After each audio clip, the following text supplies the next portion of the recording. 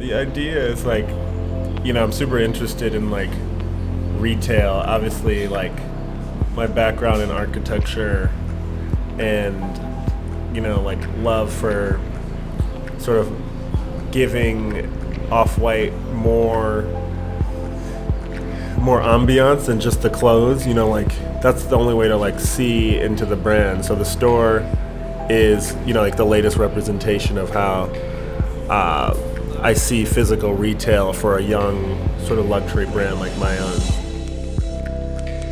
The the sort of growth in the market and uh, evolution of the women's brand gave us the opportunity to open up like a more women's focused off-white sort of retail space. So that's what I think the milestone actually is, is that the women's wear having a, an adjacent but particularly different identity than the men's, that it can withhold its own retail space.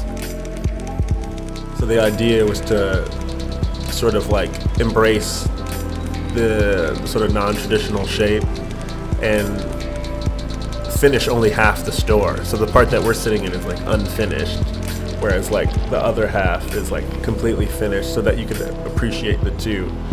And uh, that juxtaposition is sort of like native to the brand, you know. That's what off-white literally means. I find inspiration by traveling and meeting people and seeing different sights and sounds. That's where, you know, I get ideas from.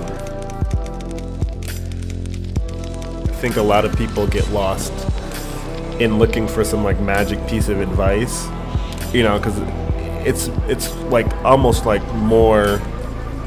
I don't know what the right word. It's like there's actually no trick.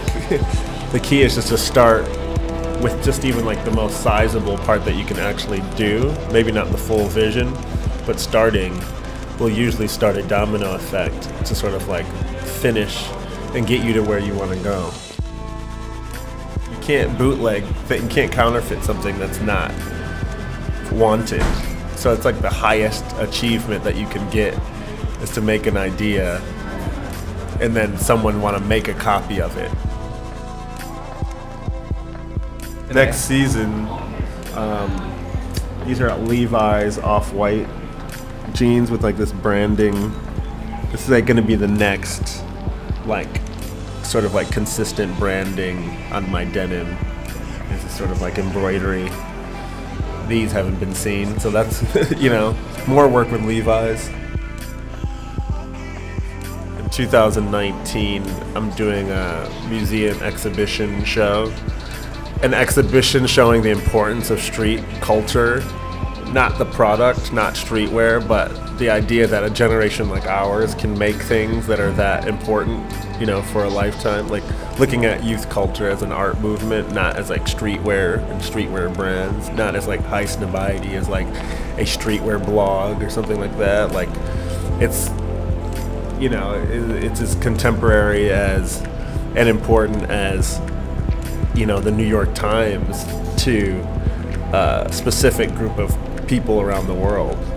It's the same way as the products we're making or the artists that are a part of the scene are just as important as Warhol and Basquiat as as the larger world sort of places it. So that's what you know I'm working. It's 2019, so it's not anywhere near soon, but that's sort of to me the most exciting thing that I'm working on is not projects that are like, hey, you have this shoe coming out and we see this leaked image of that. It's like something deeper and bigger at play. Meanwhile, that there's other projects happening that I think is an importance for the whole culture, not just self-serving my own brand or something like that.